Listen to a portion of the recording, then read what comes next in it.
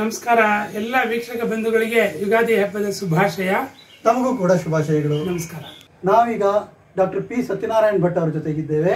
ಅವರು government college of Indian medicine Bengaluru ಮತ್ತು ಮೈಸೂರಿನಲ್ಲಿ ಪ್ರಾಂಶುಪಾಲರಾಗಿ ಪ್ರೊಫೆಸರ್ ಆ್ಯಂಡ್ ಪ್ರಿನ್ಸಿಪಾಲ್ ಆಗಿ ಆಗಿ ರಿಟೈರ್ ಆದವರು. ಇವರು ಈಗ ನಮಗೆ ಆಯುರ್ವೇದದ ಬಗ್ಗೆ ಹಾಗೂ ನಾವು ದಿನನಿತ್ಯ ಏನು ಮಾಡಬಹುದು ನಮ್ಮ ಆರೋಗ್ಯ ಕಾಪಾಡಿಕೊಳ್ಳೋದಕ್ಕೆ ಹಾಗೂ ವರ್ಧಿಸೋದಕ್ಕೆ ಅಂತ ಹೇಳ್ತಾರೆ. ಹೇಳ್ಬೋದಲ್ವ ಡಾಕ್ಟ್ರೆ? ಖಂಡಿತ. ಮೊದಲನೇದಾಗಿ ಆಯುರ್ವೇದ ಅಂದರೆ ಏನು? ಆಯುರ್ವೇದ ಹುಟ್ಟಿದ್ದು ಹೇಗೆ? ಅದರ ಬಗ್ಗೆ ಸ್ವಲ್ಪ ಮಾಹಿತಿ ಹೇಳ್ತೀರಾ? ಬಂಧುಗಳೇ ನಿಮಗೆ ಗೊತ್ತಿರೋ ಹಾಗೆ ಇವತ್ತಿನ ದಿನದಲ್ಲಿ ನಮ್ಮ ದಿನನಿತ್ಯದ ಚಟುವಟಿಕೆಗಳನ್ನು ಮಾಡೋದಕ್ಕೆ ಆಗದೇ ಇರುವಂಥ ವಿಘ್ನಗಳು ಬಂದಾಗ, ಆ ವಿಘ್ನಗಳು ಕೇವಲ ರೋಗ, ಬಾಧೆ ಉಂಟಾದಾಗ ಆ ವಿಘ್ನಗಳನ್ನು ಹೇಗೆ ನಿವಾರಿಸಿಕೊಳ್ಬೇಕು? ಆ ವಿಘ್ನಗಳಿಂದ ನಮ್ಮನ್ನು ನಾವು ಕಾಪಾಡಿಕೊಳ್ಳೋದಕ್ಕೆ ರೋಗ ನಿರೋಧಕ ಶಕ್ತಿಯನ್ನು ಹೆಚ್ಚಿಸ್ಕೊಳ್ಳೋದಕ್ಕೆ ಸಾಧ್ಯನಾ? ಅನ್ನುವಂತಹ ನಿಟ್ಟಿನಲ್ಲಿ ಒಂದು ಸಭೆ ಸೇರ್ತಾರೆ. ಇದು ಐದು ಸಾವಿರ ವರ್ಷಗಳ ಹಿಂದೆ ಆಗಿರುವಂತಹ ಒಂದು ವಿದ್ಯಮಾನ. ಹಿಮಾಲಯದ ತಪ್ಪಲಿನಲ್ಲಿ ಒಂದು ಋಷಿ ಮುನಿಗಳ ಸಂಘ ಅಲ್ಲಿ ಸಭೆ ಸೇರಿ ಅವರು ಒಂದು ನಿರ್ಣಯ ಮಾಡ್ತಾರೆ. ನಮಗೆ ದೈನಂದಿನ ಚಟುವಟಿಕೆಗಳು ಮಾಡೋದಕ್ಕೆ ಆಗ್ತಾ ಇಲ್ಲ.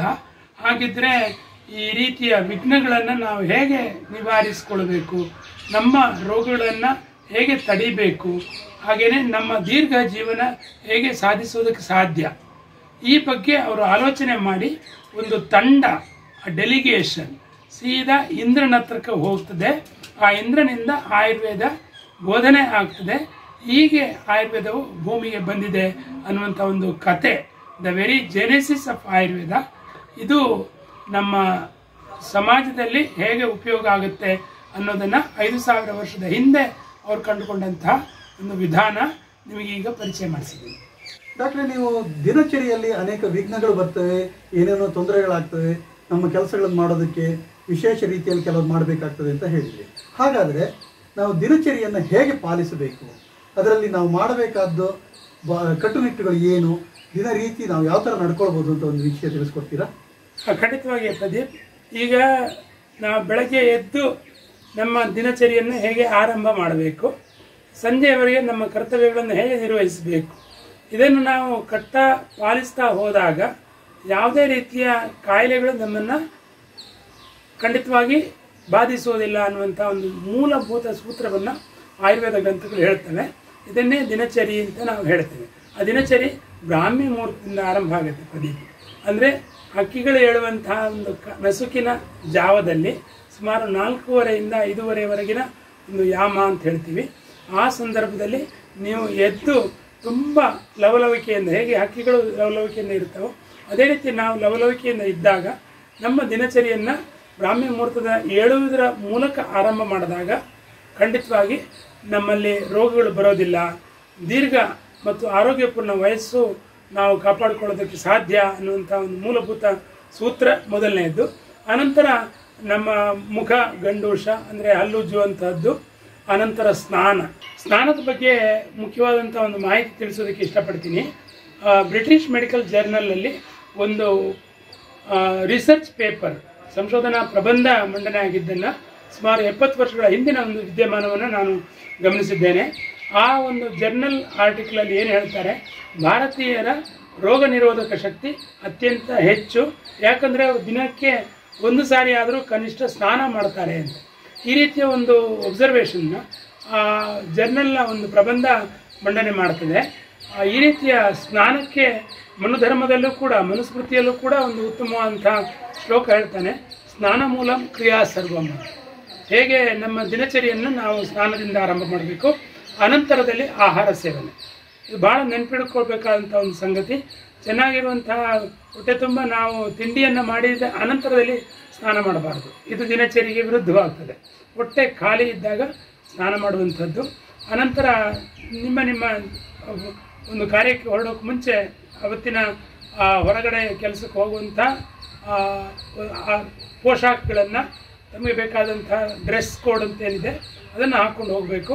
ಹಾಗೆಯೇ ಕಣ್ಣಿಗೆ ಆರೋಗ್ಯ ಕಾಪಾಡೋದಕ್ಕೆ ಅದಕ್ಕೆ ಬೇಕಾದಂಥ ಕೂಲಿಂಗ್ ಮೆಥಡಾಲಜಿ ಕಾಲಿಗೆ ಹಾಕ್ಕೊಳ್ಳುವಂಥ ಪಾದರಕ್ಷೆ, ತಲೆಯನ್ನು ತಮ್ಮ ಕೆಲಸದ ಸ- ಪಾಳಿಯಲ್ಲಿ ರಕ್ಷಿಸ್ಕೊಳ್ಬೇಕು. ಯಾಕಂದರೆ ಬಿಸಿಲಿನಲ್ಲಿ ಕೆಲಸ ಮಾಡುವವರು ತಮ್ಮ ತಲೆಗೆ ಯಾವ ರೀತಿಯ ಮುಂಡಾಸು ಅಥವಾ ಟೊಪ್ಪಿ ಅಥವಾ ಛತ್ರಿ ಇತ್ಯಾದಿಗಳು ನಾವು ಧರಿಸಿಕೊಂಡು ನಾವು ಕೆಲಸ ಮಾಡಬೇಕು. ಬಿಸಿಲಲ್ಲೂ ಇರ್ಬೋದು ಮನೆ ಒಳಗಡೆ ಇರ್ಬೋದು, ಕೆಲಸ ಮಾಡುವಾಗ ಮಾಡುವಂಥ ಒಂದು ನೀತಿ ನಿಯಮಗಳಿಗೂ ಕೂಡ ಸೂಕ್ಷ್ಮವಾಗಿ ಇದನ್ನು ಅವರು ಚೆನ್ನಾಗಿ ಬರೆದಿಟ್ಟಿದ್ದಾರೆ. ಆಮೇಲೆ ಯಾವ್ಯಾವ ಕಾಲದಲ್ಲಿ ನಾವು ಏನೇನು ಮಾಡಬೇಕು, ಈ ಎಲ್ಲ ಸಂಗತಿಗಳನ್ನು ನಿದ್ರೆ ಮಾಡಬೇಕೋ ಬೇಡವೋ ಹಗಲಲ್ಲಿ ಅಥವಾ ರಾತ್ರಿ ಹೊತ್ತು ಎಷ್ಟು ಗಂಟೆಗೆ ನಿದ್ರೆ ಮಾಡಬೇಕು, ಆಹಾರ ಕಾಲಗಳೇನು, ಎಲ್ಲ ಸಂಗತಿಗಳನ್ನು ದಿನಚರಿಯ ಒಂದು ಅಧ್ಯಾಯದಲ್ಲಿ, ಚರಕ ಸಮಿತಿಯಲ್ಲಿ, ಸುಶ್ರುತ ಸಮಿತಿಯಲ್ಲಿ ವಿವರಿಸಿದ್ದಾರೆ. ಧನ್ಯವಾದಗಳು. ಈಗ ನೀವು ಈ ವಿಷಯವನ್ನು ಹೇಳಿದ್ರಿ ನಾವು ಸಾಮಾನ್ಯವಾಗಿ ಸಂಕ್ಷಿಪ್ತವಾಗಿ ಹೇಳೋದಾದ್ರೆ ದಿನದಲ್ಲಿ ಏನು ಮಾಡಬೇಕು, ಎಷ್ಟು ಹೊತ್ತಿಗೆ ಅಂತ ಅನ್ನೋದೊಂದು ಹೇಳೋದಕ್ಕೆ ಸಾಧ್ಯ ಆಗ್ತದೆಯಾ? ಆ, ಒಬ್ಬ ತನ್ನ ಶಕ್ತಿ ಎಷ್ಟಿದೆ, ಅವ ಮೂಟೆ ಹೊರುವವನು ಅಂಥವನಾಗಿರ್ಬೋದು ಅಥವಾ ಬಿಸಿಲಿನಲ್ಲಿ ಕೆಲಸ ಮಾಡುವಂಥವನಾಗಿರ್ಬೋದು ಅಥವಾ ಡೆಸ್ಕ್ಟಾಪ್ ಕೆಲಸ ಮಾಡ್ತಾ ಇರುವಂತಹ ಒಬ್ಬ ಕಂಪ್ಯೂಟರ್ ಇಂಜಿನಿಯರ್ ಇರ್ಬೋದು ತಮ್ಮ ಇಡೀ ಶರೀರದ ಕೆಪ್ಯಾಸಿಟಿ ಏನು? ತಾವು ಎಷ್ಟರ ಮಟ್ಟಿಗೆ ತಮ್ಮ ಕೆಲಸವನ್ನು ನಿರ್ವಹಿಸಲಿಕ್ಕೆ ಸಾಧ್ಯ ಇದೆ? ಅಷ್ಟನ್ನು ತಾವು ಪರಿಗಣನೆ ಮಾಡಿಕೊಂಡು ಅದರಲ್ಲಿ ಅರ್ಧದಷ್ಟು ಕೆಪ್ಯಾಸಿಟಿನ ರೋಗ ನಿರೋಧಕ ಶಕ್ತಿಗೋಸ್ಕರ ತಾವು ಉಳಿಸ್ಕೊಳ್ಬೇಕು. ನಮ್ಮ ಅರ್ಧ ಶಕ್ತಿಯಷ್ಟು ತಾವು ವಿನಿಯೋಗ ಮಾಡಬೇಕು ಅಂತ ಆಯುರ್ವೇದದ ಒಂದು ಮೂಲಭೂತ ಸೂತ್ರ ಕೂಡ ಪರಿಚಯ ಮಾಡ್ತದೆ. ಅಂದರೆ ನನ್ನ full capacity optimal capacity of output ಅದರಲ್ಲಿ ಫಿಫ್ಟಿ ಪರ್ಸೆಂಟ್ ಎನರ್ಜಿನ ಖರ್ಚು ಮಾಡಬೇಕು. ಇನ್ನು ಫಿಫ್ಟಿ ಪರ್ಸೆಂಟ್ ಎನರ್ಜಿನ ತಾನು ಉಳಿಸ್ಕೊಳ್ಬೇಕು ಅನ್ನುವಂಥ ಅರ್ಧಶಕ್ತಿಯ ವ್ಯಾಯಾಮ ಯುಂಜೀತ ಅನ್ನುವಂಥ ಸೂತ್ರವನ್ನು ಚರಕ ಸಮಿತಿ ಹೇಳ್ತದೆ.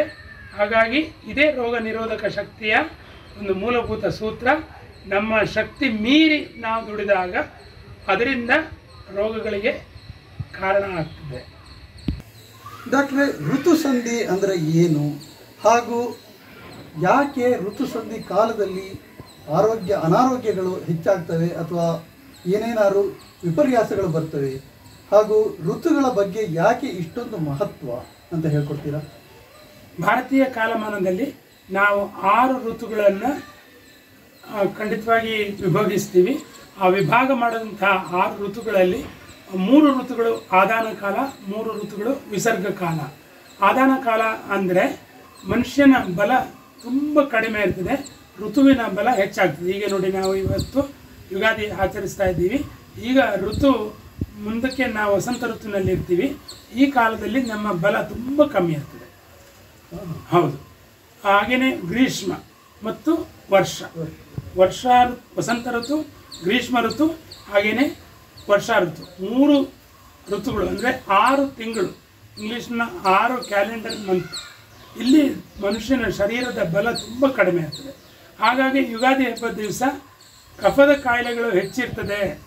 ಆ ಕಫವನ್ನು ನಾವು ಹೇಗೆ ನಿವಾರಣೆ ಮಾಡಬೇಕು? ಕಹಿ ರಸವನ್ನು ಜಾಸ್ತಿ ಉಪಯೋಗಿಸಿ, ಬೇವನ್ನು ಉಪಯೋಗಿಸಿ, ಕಫವನ್ನು ನಿರ್ಹರಣ ಮಾಡಿ. ಹಾಗೆಯೇ ಇದರ ಹಿಂದಿನ ಎರಡು ಋತುಗಳು ಹೇಮಂತ ಮತ್ತು ಶಿಶಿರ.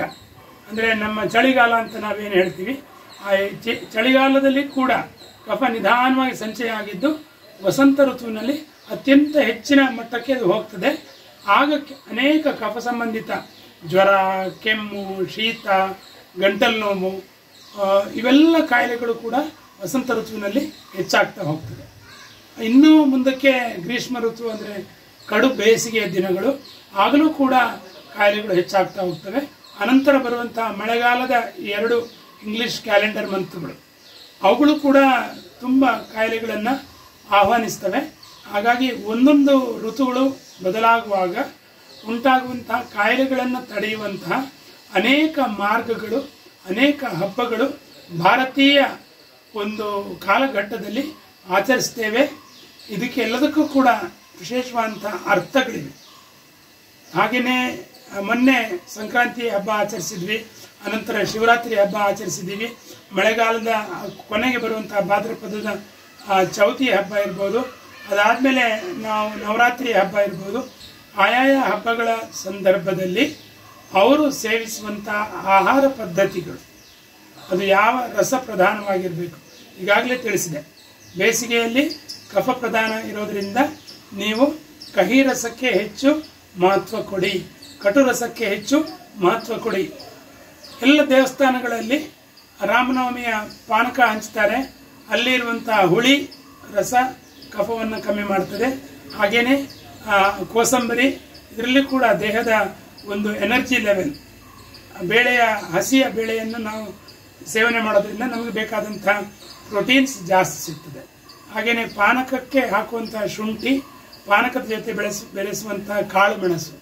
ಇವೆಲ್ಲವುಗಳು ಕೂಡ ಕಫವನ್ನು ಕರಗಿಸುತ್ತವೆ. ಆಯಾ ಹಬ್ಬಗಳನ್ನು ಆಚರಿಸುವುದರ ಮೂಲಕ ಆರೋಗ್ಯ ಪಾಲನೆ ಮತ್ತು ರೋಗರಹಿತ ಸಮಾಜದ ಸೃಷ್ಟಿ, ರೋಗರಹಿತ ಮುಪ್ಪು ಬಾರದ ಜೀವನವನ್ನು ಆಯುರ್ವೇದ ಹೇಗೆ ನಡೆಸ್ಬೋದು ಅದಕ್ಕೆ ಸಾಕಷ್ಟು ಒತ್ತುಗಳನ್ನು ಕೊಡ್ತದೆ ಅಲ್ಲಿಗೆ ನೀವು ಇವಾಗ ಎರಡು ವಿಷಯಗಳನ್ನು ಹೇಳಿದ್ರಿ. ಒಂದು ಈ ಚಳಿಗಾಲ, ಬೇಸಿಗೆ ಕಾಲ, ಆ ಥರದ ಕಾಲಕ್ಕಿಂತಲೂ ಅತಿ ಮುಖ್ಯವಾಗಿ ನಾವು ತಿಳ್ಕೊಳ್ಬೇಕಾದ್ದು ಇದು ಋತುಗಳಿಗೆ ಸಂಬಂಧಪಟ್ಟಿದ್ದು. ವರ್ಷದಲ್ಲಿ ಆರು ಋತುಗಳಿವೆ. ಅದು ಹೇಗಿರ್ತವೆ ಆ ಋತುವಲ್ಲಿ ಹೇಳುವಂಥದ್ದು ಒಂದು ವಿಷಯ ಹೇಳಿದ್ರಿ. ಇನ್ನೊಂದು ವಿಷಯ ನೀವು ಹೇಳಿದ್ದು ಬಹಳ ಆಶ್ಚರ್ಯಕರವಾದ್ದು. ನಮ್ಮ ಹಬ್ಬಗಳು ಬೇರೆ ಬೇರೆ ಹಬ್ಬಗಳಲ್ಲಿ ನಾವು ಬೇರೆ ಬೇರೆ ರೀತಿಯ ಆಹಾರ ಸೇವನೆ ಮಾಡ್ತೇವೆ. ಅದಕ್ಕೆ ಒಂದು ವೈಜ್ಞಾನಿಕವಾದ ಆರೋಗ್ಯಕ್ಕೆ ಸಂಬಂಧಪಟ್ಟಂತ ನಿಗದಿತವಾದ ಕಾರಣದಿಂದ ಈ ಆಹಾರವನ್ನು ಸೇವಿಸ್ತೇವೆ. ರಾಮನವಮಿಯಲ್ಲಿ ಪಾನಕ ಅಥವಾ ಇನ್ನೊಂದು ಕಾಲದಲ್ಲಿ ಇಂಥ ಪದಾರ್ಥವನ್ನು ಸೇವಿಸೋದು ಮುಖ್ಯ ಅಂತ ಅನ್ನೋದು ನೀವು ಹೇಳ್ತಾ ಇದ್ದೀರಾ. ಡಾಕ್ಟ್ರೆ ನೀವು ಇಷ್ಟೊಂದು ವಿಷಯಗಳನ್ನು ಹೇಳಿದ್ರಿ. ಇವತ್ತಿನ ಮಟ್ಟಿಗೆ ನಾವು ಇದನ್ನೆಲ್ಲ ಸೇರಿಸಿ ಒಟ್ಟಿಗೆ ಹೇಳಬೇಕು ಅಂತ ಹೇಳಿದ್ರೆ ಒಂದು ಸಮ್ಮರಿ ಹೇಳೋದಕ್ಕೆ ರೋಗ ನಿರೋಧಕ ಶಕ್ತಿ ಹೆಚ್ಚಿಸಿಕೊಳ್ಳೋದಕ್ಕೆ ಆಯುರ್ವೇದದಲ್ಲಿ ಏನು ಮಾಡಬೇಕು ಅಂತ ಹೇಳ್ತದೆ. ಒಂದು ಚುಟುಕಾಗಿ ಸಮರಿ ಒಂದು ಹೇಳಿದರೆ ಅದನ್ನು ನಾವು ಇವತ್ತಿಗೆ ಇಟ್ಕೊಳ್ಬೋದು. ಖಂಡಿತ ಪ್ರದೀಪ್, ಇದನ್ನ ನಾನು ಎರಡು ಮೂರು ಸಂಗತಿಗಳನ್ನ ಅಷ್ಟೇ ಹೇಳಿದೆ. ಈಗ ದಿನಚರಿಯ ಬಗ್ಗೆ ಹೇಳಿದೆ. ಉತ್ತಮವಾದ ಆಹಾರ, ಹೇಗೆ ನಾವು ಆಹಾರ ತಗೊಳ್ಕೊಳ್ಬೇಕು, ನಮ್ಮ ದಿನಚರಿ ಹೇಗಿರಬೇಕು ಹೇಳಿದ್ದೀನಿ. ಹಾಗೆಯೇ ದಾನಶೀಲತೆ ಹಾಗೆಯೇ ಯಾವುದರಿಂದ ನನಗೆ ಒಳ್ಳೆಯದಾಗುತ್ತೆ ನನ್ನ ಸಮಾಜಕ್ಕೆ ಒಳ್ಳೆಯದಾಗುತ್ತೆ ಅನ್ನುವಂಥ ವಿವೇಚನೆ, ಮತ್ತು ಆಪ್ತ, ಆಪ್ತೋಪಸೇವಿ ಅಂತ ಹೇಳ್ತೀವಿ. ಅಂದರೆ ಆಪ್ತರು ಅಂದರೆ ತನಗಿಂತ ಹಿರಿಯರು, ತನ್ನ ಗುರುಗಳು, ತನ್ನ ಬಂಧುಗಳು, ಅವರನ್ನು ನಿತ್ಯ ತುಂಬ ಚೆನ್ನಾಗಿ ನೋಡ್ಕೊಳ್ಳುವಂಥ ಒಂದು ವಿಧಾನ. ಹಾಗೆಯೇ ಇವರೆಲ್ಲ ಕೂಡ ಯಾವುದೇ ಕಾಯಿಲೆಗಳು ಬರದೆ ಬದುಕೋದಕ್ಕೆ ಸಾಧ್ಯ ಇದೆ. ದಾನಶೀಲತೆಯಿಂದ ಆರೋಗ್ಯದ ಒಂದು ಪರಿಪಾಠಗಳು, ಆರೋಗ್ಯದ ಜೀವನ ಖಂಡಿತವಾಗಿ ಸಾಧ್ಯ ಅನ್ನುವಂಥ ಒಂದು ಚರಕದ ಶ್ಲೋಕದ ಜೊತೆಯಲ್ಲಿ ಈ ರೋಗ ನಿರೋಧಕ ಶಕ್ತಿಯ ಹೆಚ್ಚು ಮಾಡುವಂಥ ಸಂಕ್ಷಿಪ್ತ ಪಾಠವನ್ನು ನಾನು ನಿಮ್ಮ ಮುಂದೆ ಇಟ್ಟಿದ್ದೀನಿ. ನೋಡಿದ್ದಕ್ಕೆ, ಕೇಳಿದ್ದಕ್ಕೆ ಧನ್ಯವಾದಗಳು. ನಮಸ್ಕಾರ. ಧನ್ಯವಾದಗಳು. ನಮಸ್ಕಾರ ಡಾಕ್ಟ್ರೆ. ಮುಂದೆ ಇನ್ನೂ ಹೆಚ್ಚಿನ ವಿಷಯಗಳನ್ನು ತಿಳಿಸ್ಕೊಳ್ಳೋದಕ್ಕೆ ನಾವು ಇವರನ್ನು ಭೇಟಿಯಾಗೋಣ. ಇವತ್ತಿಗೆ ಇಲ್ಲಿಗೆ ನಮಸ್ಕಾರ.